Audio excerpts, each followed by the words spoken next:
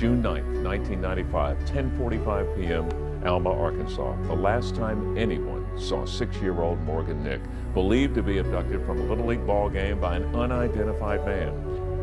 Bring her back. We want her home.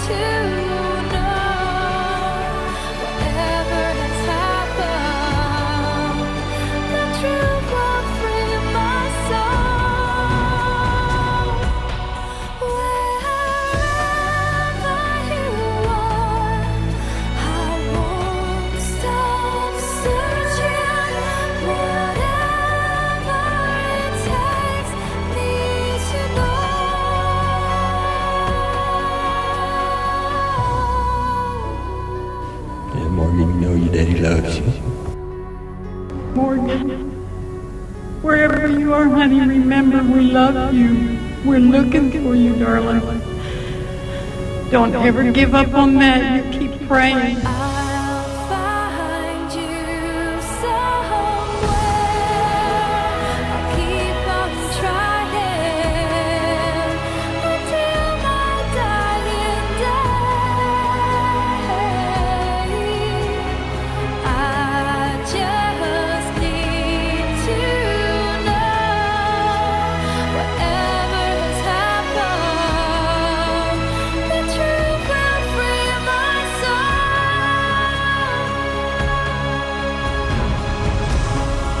I still remember the day that Morgan was born. I remember the very first time that I held her and how just she just swept over my soul.